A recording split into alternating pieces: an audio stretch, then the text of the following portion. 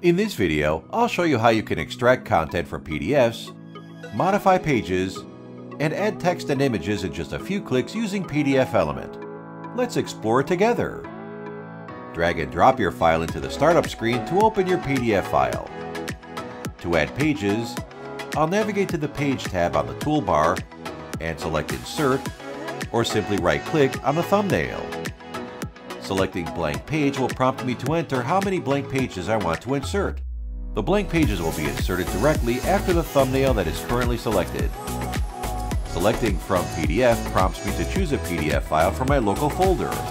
The pop-up window lets me choose the exact page range I want to insert and where these pages will be placed. You've now learned how to add pages to a PDF using two different methods. If you found this tutorial helpful, please don't forget to like the video and subscribe to our channel. Click the link in the description to try out PDFelement for free today.